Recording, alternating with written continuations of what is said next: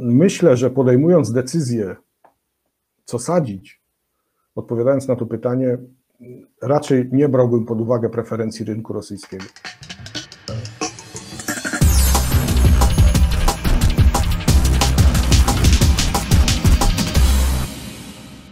Króciutko się zatrzymajmy jeszcze przy Rosji.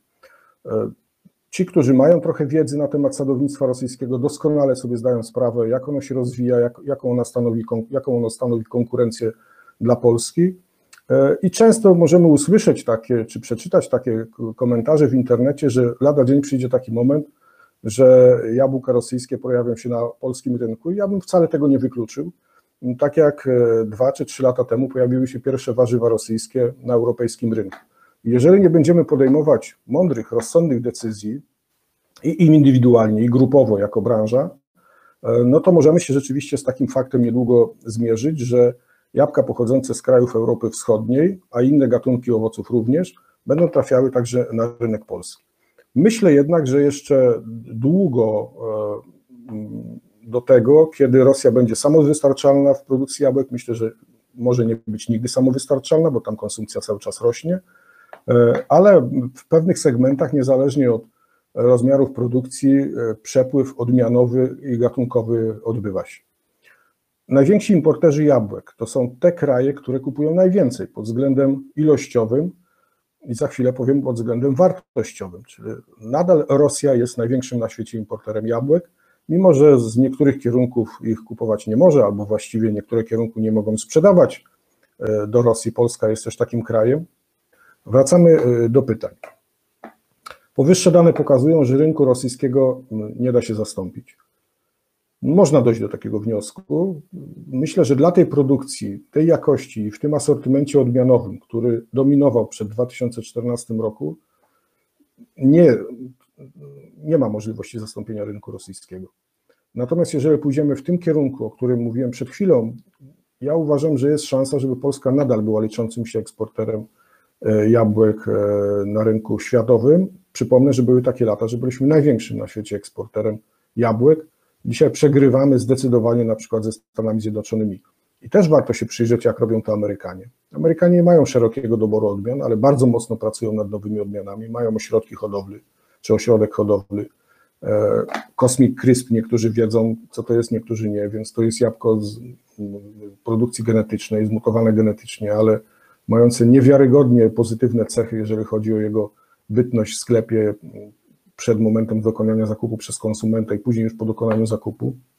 I jeżeli to jabłko będzie spopularyzowane, a jego tendencja nasadzeń w Stanach Zjednoczonych jest, jest, jest ogromna, oczywiście Amerykanie wykładając ogromne pieniądze na wyprodukowanie tej odmiany nie chcą jej udostępnić do powszechnego namnażania, co jest, co jest naturalne, ale to tylko chcę tą odmianą obok Pink Lady pokazać, w jakim kierunku idzie świat i jak on się zmienia i co robią inne kraje, które chcą być dalej liczącymi się w produkcji jabłek, chcą dominować i one sięgają po odmiany klubowe.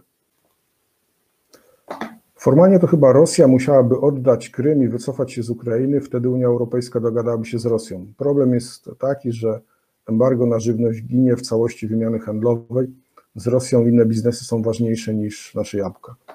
No, można się z tym zgodzić. Ja nie bardzo widzę niestety zakończenie tego konfliktu politycznego.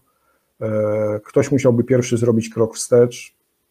Myślę, że na razie nie bardzo są chętni do zrobienia tego kroku wstecz. Pytanie bardzo podobne. Czy jest szansa na zniesienie embarga, co musiałoby się wydarzyć? Nie, w najbliższym czasie niestety nie ma. Ja jeszcze kilka lat temu byłem optymistą, że to embargo może się zakończyć. Dzisiaj niestety jestem pesymistą. I, embargo jest szkodliwe z kilku powodów. No, po pierwsze, nie możemy tam sprzedawać. A to był największy dla nas rynek odbiorców polskich owoców. Specjalnie podkreślę to polskich owoców, bo nie tylko jabłek. Doskonale właśnie rozwijał się tam eksport owoców uważanych za miękkie, jagodowych, czereśni. To wszystko zostało jednym cięciem politycznym zakończone więc to jest jedna strata. Druga strata to jest taka, że następuje tam bardzo dynamiczny rozwój sadownictwa. Jeżeli ktoś nie wierzy, to, to no niech posłucha ekspertów, poczyta doniesienia z tamtego kraju albo posłucha tych, którzy tam byli, mm, albo którzy tam eksportują technologię, nasadzenia, więc jak ktoś lekceważy Rosję pod względem sadowniczym, e, jest w ogromnym błędzie. E, jest to kraj bardzo dynamicznie się rozwijający. Trzeba mieć tylko nadzieję, że, że jakaś sytuacja pogodowa, nadzwyczajna może tą produkcję ograniczyć, bo innego czynnika, który by ją ograniczył, y, niestety nie widzę. Warto też zwrócić uwagę, kto tak naprawdę tam zakłada sady.